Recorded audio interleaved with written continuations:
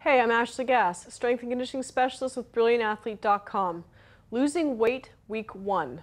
Well, first of all, just get the losing weight thing out of your mind and focus instead on week one being learning some strength training moves and learning how you can improve for your nutritional plan. And if you're working with a good trainer, you'll be given good guidance in this area. So I'll show you an exercise that if you're brand new to training will really help out a lot. This is an exercise that'll help you lower back and it'll help you develop butt muscles again because most of the clients that I work with, I call them buttless wonders because they haven't worked their glute muscles in a long time.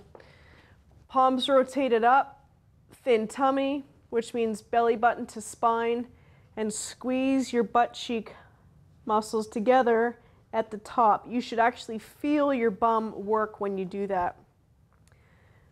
Back up again, thin tummy, tight cheeks, and back down. Thin tummy, tight cheeks, and back down. For most of you, doing 10 to 20 of those will be more work than you've had in that area for probably five years. Uh, again, for more information, you can contact me directly at brilliantathlete.com.